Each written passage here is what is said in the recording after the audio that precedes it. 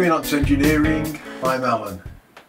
Today I'm making a drawbar for the Boxford lathe and I'm starting off with the Hemingway drawbar kit which is made for a Myford lathe and modifying it to fit the Boxford.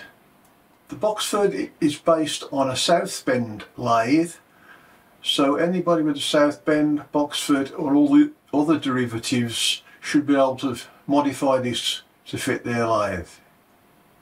It comes in a kit form from Hemingway and I've left a link at the beginning of the video so you can go onto the website to have a look. So let's go into the workshop and see how we make it. What you get in the kit, you get a set of drawings, sheet with instructions, steel bar for the actual drawbar, another piece of steel for the spacers and a cast iron handle. So we'll have a look at the Boxford to see how this drawbar can fit. Uh, remember it's made for a Myford but I'm modifying it for a Boxford. On the inside of the gearbox door you can see there's a cast part coming out with a hole in and that goes over the end of the spindle here.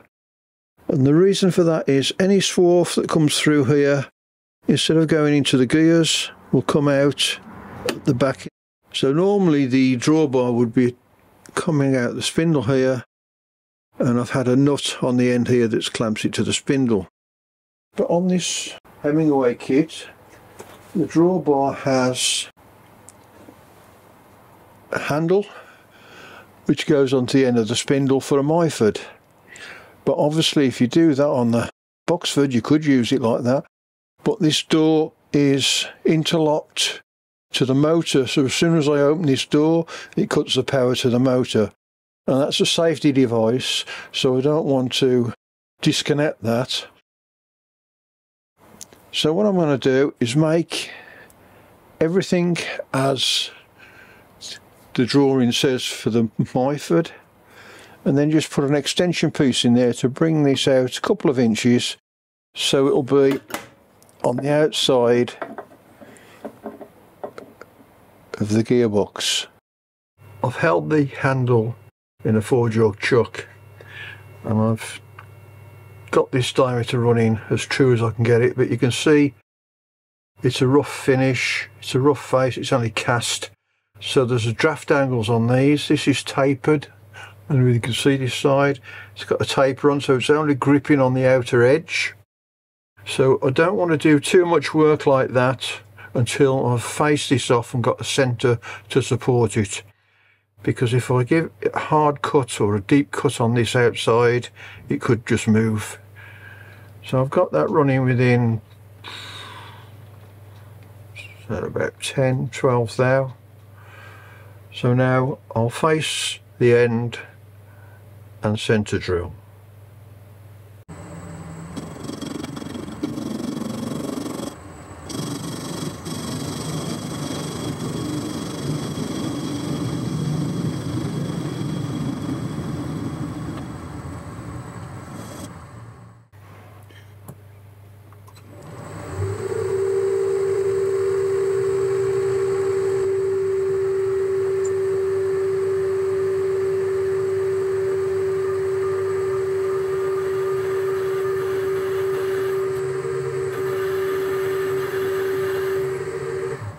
brush out any swarf. So I want to turn this diameter down uh, to match the spindle outside diameter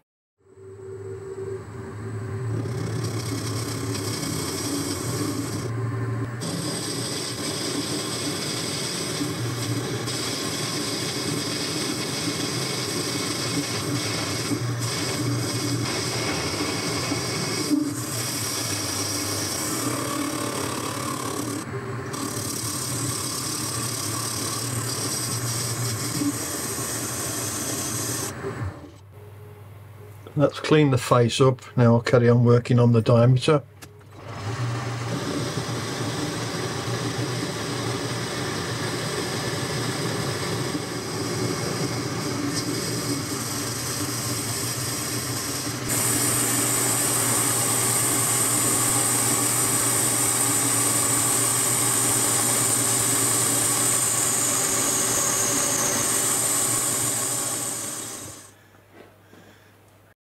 I've changed my chuck for a three jaw. I'm holding on the part I've just turned and now I'm going to true up this and the face. So I've just got that running to a couple of tenths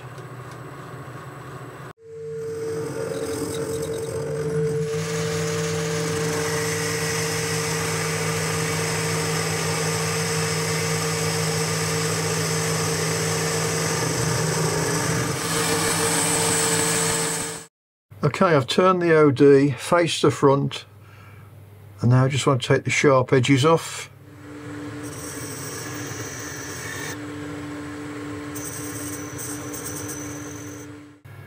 Rather than have a flat face, I've just put a recess in it to make it just look pretty. So that's that done. Put this back in my three jaw chuck. That's because I didn't really want to risk turning and drilling and tapping this hole on the end while it was still held on a draft angle. So all this is running true. Now I need to turn down the end to match the bore on the headstock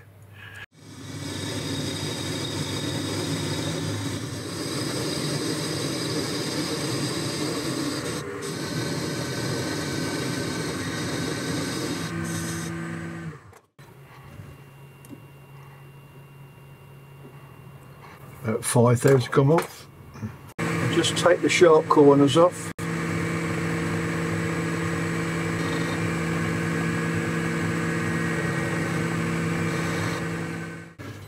So this diameter will fit inside the spindle and this diameter is the same as the outside of the spindle. Now drilling the tapping hole 38 BSF.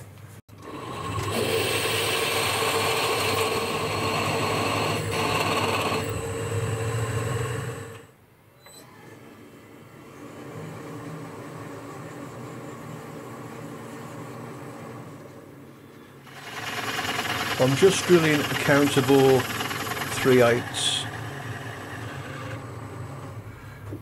So that's finished now except for drilling and tapping M5 for a grub screw.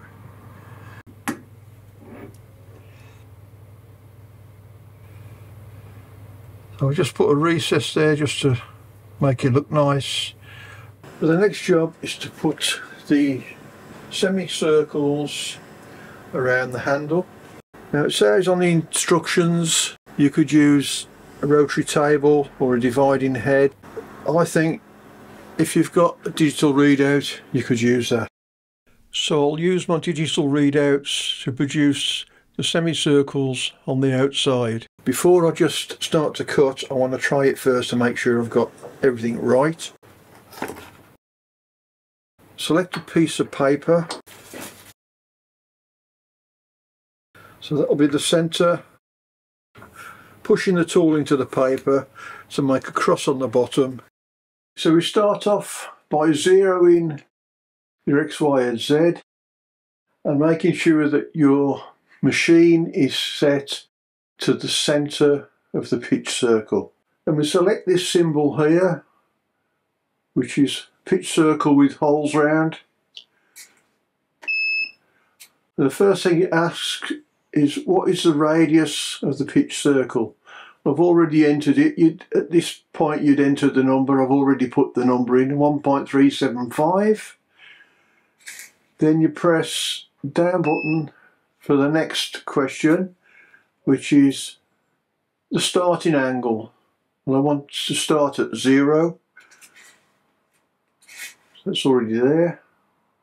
Press the down button for the next question. The end angle, well that can be the same as the start, so accept that, press down button. The hole number, now we want 12 holes. So I've entered 12 and press down. This is the direction. When the start angle and the end angle are equal, you don't need to put anything. So that's telling me now to move my machine so this reads 0, 0 and that is hole number one. So I'll move the table until you come to zero on your reading. It's about there. Then I'll bring down the tool, just touch the paper so it makes a mark. Now I press the down it says hole number two. We've changed these to zero zero by moving the machine table. I'm going to bring that down. That would be my second hole. Press the down arrow again and carry on doing that for hole 4, 5, 6 up to 12. We'll be there. Now you can check that then with your part. Part should fit just in the centre and all the all the centres should be around the outside. Don't forget we're not going the full half inch deep. We're only just taking a small semicircle out of each one. So that's saying mate I've got the right pitch circle. I've zeroed my tool in the middle. Now I'll press the pitch circle then move to the first position.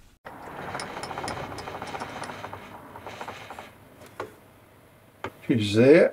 So now I need to go down and cut away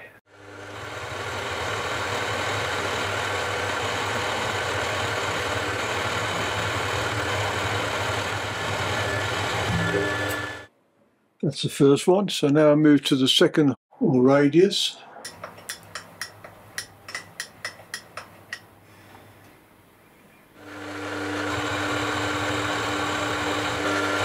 Well, second radius. Move to the next one.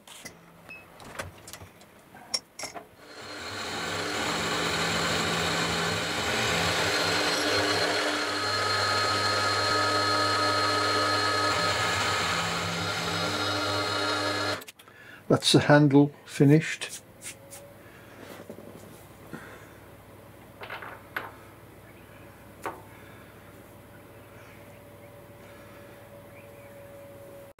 Now I'll come to the screw cutting part. And as this is a metric lathe I've had to add the gear conversion to convert the metric into imperial which is this big gear. And we're cutting a half inch BSW thread which is 12 teeth per inch. Using this square up against my thread cutting tool just to make sure it's square to the the bar that I'm turning. I've put an undercut using my parting off tool just at the end here. I'll just take a cut along there just to see that it is 12 teeth per inch.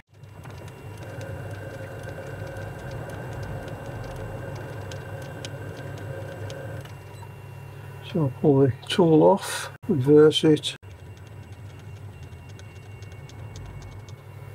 doesn't look far out so I'll cut a few threads and see.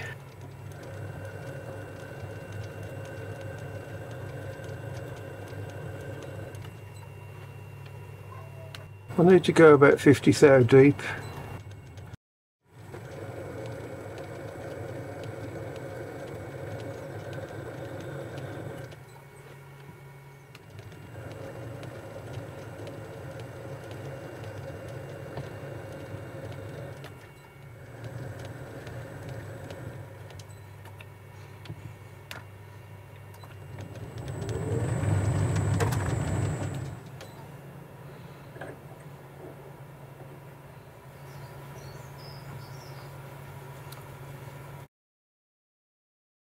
nearly right to the end. It could be the undercut at the end wants a bit more off, so I'll do that next. I'm not going to take any more off that thread. Just put my parting off tool back on. I'm just taking off just enough to get rid of the, the tool mark.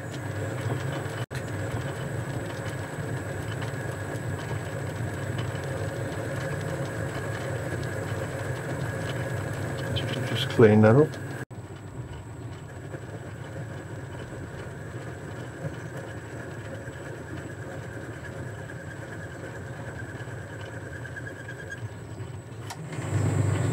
Chamfer on the stove.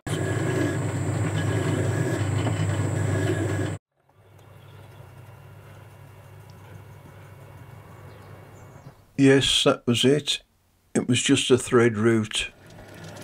I've checked the overall length that I need and cut the bar to length. Now I'm just threading the other end of the bar.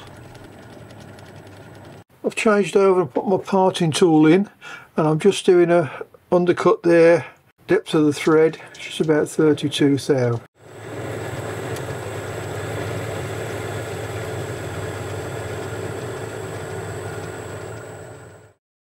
Now this is the finished drawbar. In the handle is a grub screw that holds the bar in position and on the thread I've filed a flat so the grub screw can hold the bar. I've made two spacers that just slide on the bar and they'll be loctited in position and this thread holds my collet holder in the end of the spindle. If you're making this for a Boxford lathe you need to make this spacer from a one inch diameter piece of steel which is not included in the kit. Just copy this diameter onto your spacer on this end and on the other end make the bore exactly the same so this will fit over the end of your handle. So let's see how it works. Fit your collet holder. Feed the bar through this is the adapter that I fitted. If you're fitting it to a Myford, you won't need this. I've already tightened this grub screw up on the flat that I've filed on the thread. And that screws into the back of the collet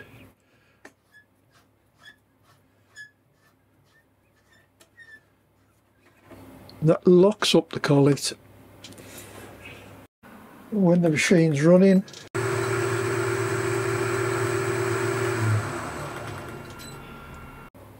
when you need to undo your collet just unscrew this give it a tap with a hammer that's ejected the collet holder so unscrew the collet and withdraw the bar. Oh well, that's it for today. Thanks for watching. Hope that was useful and we'll see you next time on Enots Engineering.